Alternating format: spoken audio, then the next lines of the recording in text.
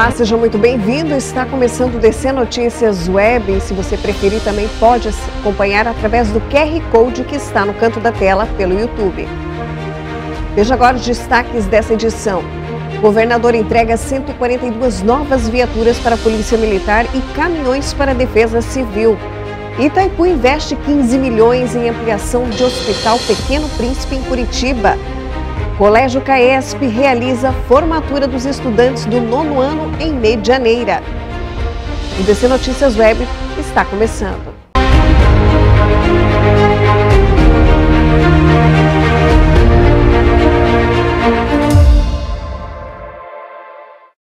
Olá, nós abrimos essa edição falando que o governador do Paraná entrega 142 novas viaturas para a Polícia Militar e caminhões para a Defesa Civil. O governador Carlos Massa Ratinho Júnior entregou 142 novas viaturas para a Polícia Militar do Paraná.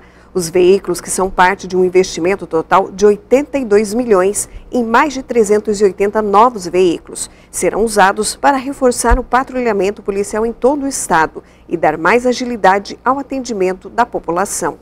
Exatamente, esse é o nosso compromisso, inclusive é, renovando a frota da Polícia Militar, da Polícia Civil também já fizemos a entrega de mil novas viaturas e agora entregando 800 viaturas para a Polícia Militar. É, nesse lote de 142 viaturas que estamos entregando agora, 42 são para a patrulha rural, para levar a segurança ainda mais no campo, e também as outras 100 que são espalhadas pelo estado do Paraná, viaturas semi-blindadas, quer dizer, aquilo que tem de mais tecnológico hoje para proteção tanto do nosso policial que está no dia a dia fazendo a ronda e automaticamente dando a ele uma oportunidade de ter um, um instrumento ainda melhor para ele trabalhar. O Paraná vive um bom momento, né, em cima das estatísticas de criminalidade, nós estamos nos menores índices da nossa história. Só na capital nós tivemos uma diminuição de 26% de homicídios. O número de roubo no estado do Paraná nós diminuímos em 70%, que é menor, o menor índice da história dos últimos é, mais de 20 anos, desde 2007, quando começou o novo, novo, as novas estatísticas né, no Brasil. Então, para nós é um motivo de muita alegria e o que nós estamos fazendo é cada vez mais comprando pistolas novas que nós entregamos há poucos dias atrás, fuzis, é, viaturas, helicópteros, dando aos nossos policiais aquilo que tem de melhor no mundo para que ele possa proteger as famílias paranaenses. E ainda falando em segurança pública, o DC Notícias Web fala agora que a Polícia Rodoviária Federal alerta para os cuidados para as viagens de fim de ano. A Polícia Rodoviária Federal de Foz do Iguaçu já se prepara para o mês de dezembro nas festas de Natal e Ano Novo. Para o período de festas, agora de final de ano, nós estamos com uh, um incremento na fiscalização. Nós temos inúmeras operações e comandos específicos direcionados para a segurança viária. E temos também equipe de reforço que foi trazida da sede de Curitiba, da superintendência, para justamente auxiliar na orientação de trânsito. Essas equipes vão estar é, atuando principalmente na região da Ponte da Amizade e temos um reforço também na Ponte Tancredo Neves. A, o reforço na Ponte da Amizade ele é extremamente importante nessa época do ano, justamente devido à quantidade de assaltos que nós temos nas filas de veículos. Então torcemos aí um reforço de motopoliciamento, para que haja um deslocamento mais fácil é, entre a, as, as, filas que se formam, é, de uma pista para outra, a questão da motocicleta facilita muito essa, essa orientação de trânsito. Tem alguma dica que você pode dar para os viajantes? Olha, nesse, nesse, período de final de ano, o que mais verificamos é o excesso de velocidade. As pessoas querem chegar logo no seu destino, querem estar com seus familiares, mas essa é uma, é, é uma forma de chegar rápido que não é interessante, porque a pessoa pode inclusive não chegar, né? Não digo que vai acontecer um, um acidente extremamente grave, mas qualquer acidente de trânsito já é um transtorno e a pessoa muitas vezes acaba perdendo a viagem, né? Então indicamos a não abusar da velocidade, evitar de fazer as ultrapassagens de risco em local proibido e o mais importante de tudo no período de festas, não combinar álcool e direção, que é uma combinação fatal. Os deputados do Paraná aprovaram o projeto de lei que aumenta em 12,73% as taxas de cartórios no estado. A proposta foi apresentada pelo Tribunal de Justiça do Paraná. A medida entra em vigor a partir do dia 1 de janeiro do ano que vem. Após a sanção do governador Ratinho Júnior, o reajuste será aplicado em diversos serviços, como reconhecimento de firma, autenticações de documentos, escrituras, testamentos, certidões, entre outros. Os deputados do Paraná aprovaram um projeto de lei que aumenta em 12,73% as taxas de cartórios no estado. A proposta foi apresentada pelo Tribunal de Justiça do Paraná. A medida entra em vigor a partir do dia 1 de janeiro do ano que vem, após sanção do governador Ratinho Júnior. O reajuste será aplicado em diversos serviços, como reconhecimento de firma, autenticações de documentos, escrituras, testamentos, certidões, entre outros serviços. A seguir, Itaipu Nacional investe 15 milhões de reais nas obras de construção de uma segunda unidade do Hospital Pequeno Príncipe. Colégio CAESP. Ensino forte que transforma. Estamos ampliando nosso colégio e abrindo novos caminhos para um futuro melhor. Novo CAESP Júnior. Maior e melhor. Ambientes bonitos, modernos e perfeitos para boas ideias e infinitas conquistas. Da educação infantil à aprovação nos maiores vestibulares do país. CAESP é resultado sempre, com a maior e melhor aprovação em medicina. Colégio CAESP. Vem estudar aqui você também. A Câmara de Foz do Iguaçu está mais atuante, fiscalizadora e bem mais perto da população. Os vereadores apresentaram indicações e aprovaram projetos de grande relevância para a coletividade. Leis que fazem a diferença na sua vida. A Câmara é a casa do povo e seguirá assim. Fiscalizando a aplicação do dinheiro público e trabalhando em projetos para o bem de todos. Câmara de Foz. A Câmara de todos nós.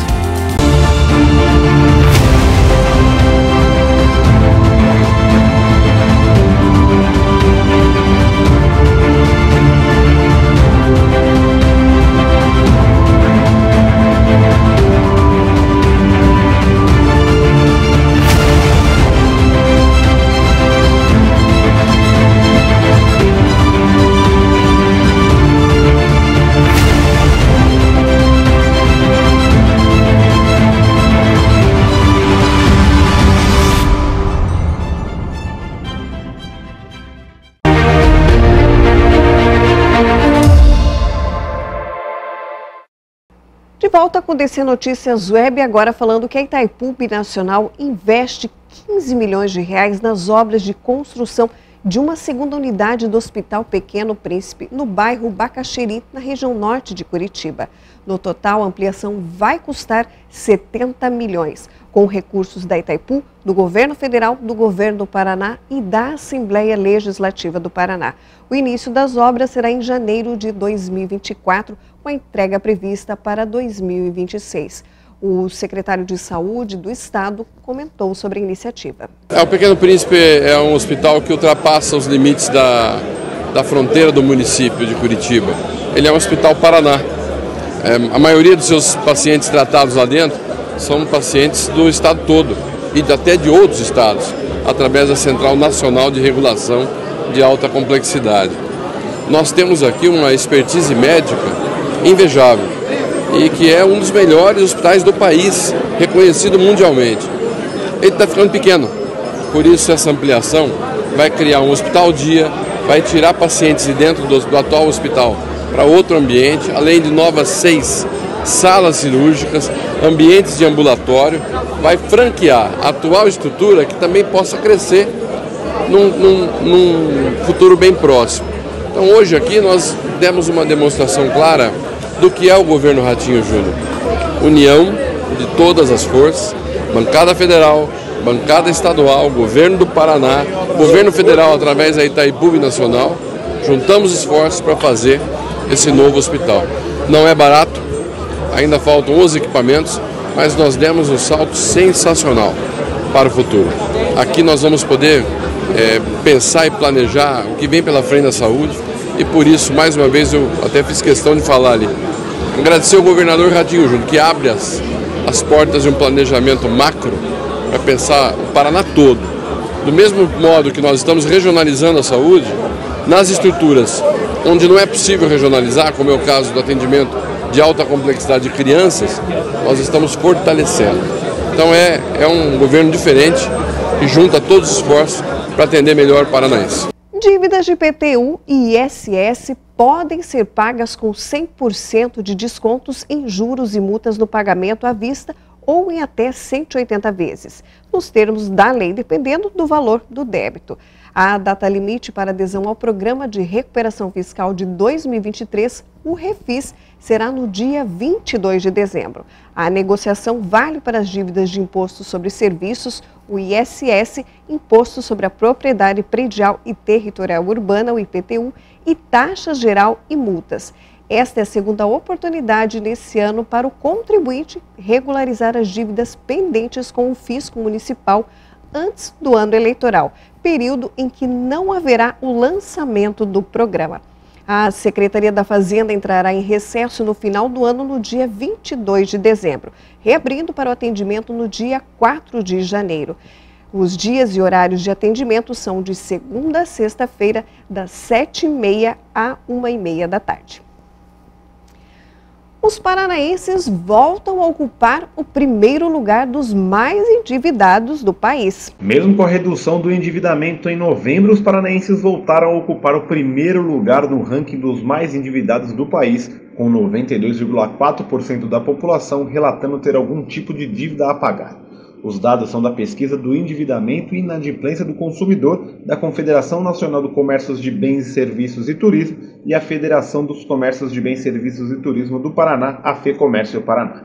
Desde agosto, o indicador vem caindo no estado e a partir da metade do ano, os paranaenses haviam deixado a liderança da lista do endividamento, posição que passou a ser ocupada pelo Rio Grande do Sul.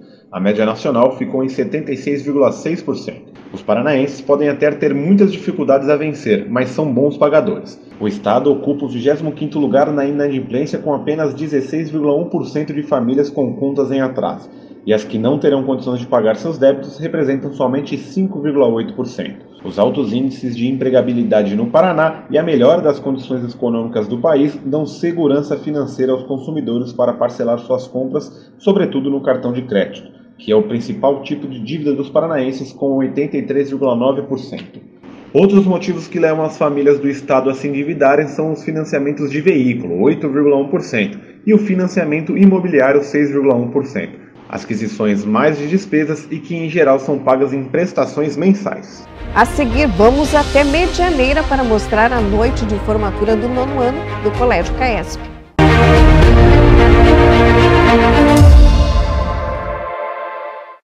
Sua história vai mudar. Vestibular de verão. Agende sua prova. Descubra o que é ser UDC. Ser UDC é ser excelência, inovação e internacional. Venha ser UDC. UDC é criatividade, empreendedorismo, muito mais laboratórios.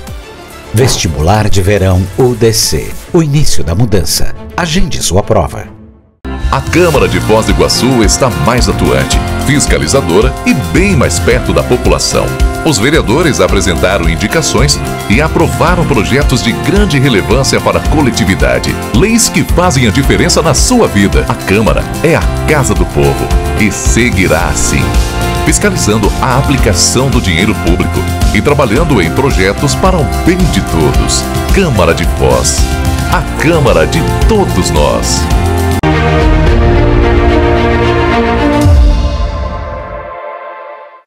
E agora a gente fala que na cidade de Medianeira teve noite recheada de comemorações na formatura do nono ano do Colégio CAESP. Uma noite de muitas expectativas e nervosismo. Ah, eu tô um pouco nervoso, né? Porque acho que vai ser a minha primeira formatura. Na verdade, já fiz uma, só que no quinto ano. Mas eu acho que vai ser bem legal. Ah, eu tô animada, né? Agora, a entrada de fundamental para ensino médio, amanhã estava muito importante. Ah, dá um nervosismo sim, é que é um negócio muito importante, então é, dá um nervosismo sim. 15 estudantes que concluíram o nono ano do ensino fundamental participaram da solenidade de colação de grau com juramento em português. Nós, alunos do Colégio CAESP Internacional Medianeira, diante de nossos pais e familiares, colegas e professores, prometemos cumprir fielmente tudo o que aqui aprendemos.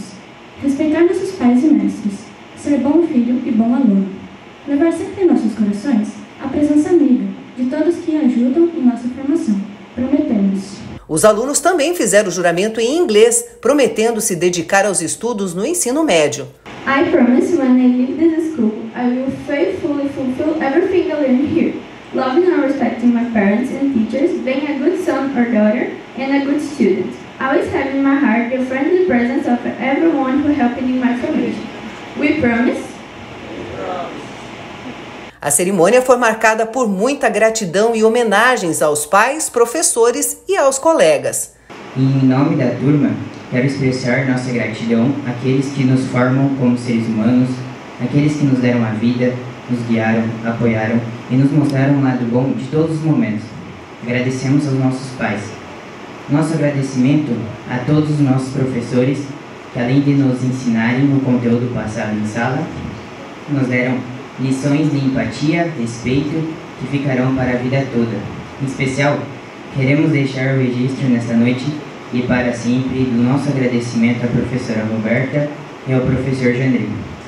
E por fim, agradeço aos nossos colegas pelas parcerias neste ano e por termos nos proporcionado dias alegres e de memórias incríveis. Que possamos continuar até o final do ensino médio. Obrigado por tudo, nos vemos no ensino médio. A solenidade de formatura marca a transição do ensino fundamental para o ensino médio, que agora vem carregado de novas responsabilidades.